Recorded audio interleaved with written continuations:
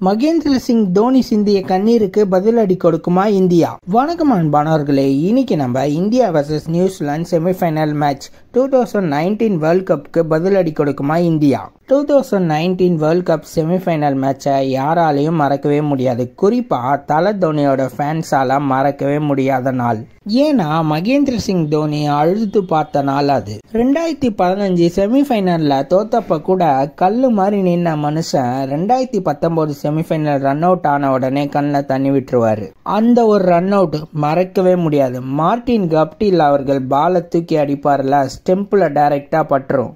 MS Dhoni run out எவ்வளோ ஸ்பீடாக ஓடக்கூடிய ஒரு மனுஷன் ரன் அவுட்டா பார்க்கவே கொடுமையாக இருந்ததுல. அதோடு முடிஞ்சு போச்சுங்க இந்தியாவோட வேர்ல்ட் கப் கனவு. இன்னி வரைக்கும் ஒரு ஐசிசி டோர்னமெண்ட் கப்பு கூட வரலைங்க இந்தியாவுக்கு.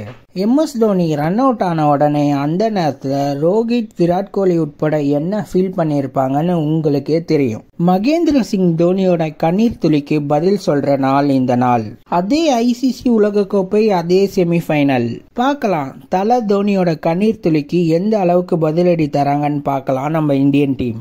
இன்னைக்கு மகேந்திர சிங் தோனி சிந்திய கண்ணீருக்கு பதிலடி இந்தியன் டீம் கொடுக்குமா இல்லையான்னு கமெண்ட் பாக்ஸில் கமெண்ட் பண்ணுங்கள் two thousand nineteen world cup run out ஆனதுக்கப்புறம் நம்ம எம்எஸ் தோனி என்ன பண்ணாரு? நம்ம ஷார்ட்ஸில் நம்ம சேனல் நேம் கீழே ஃபுல் வீடியோ லிங்க் இருக்குது போய் செக் பண்ணிக்கோங்க.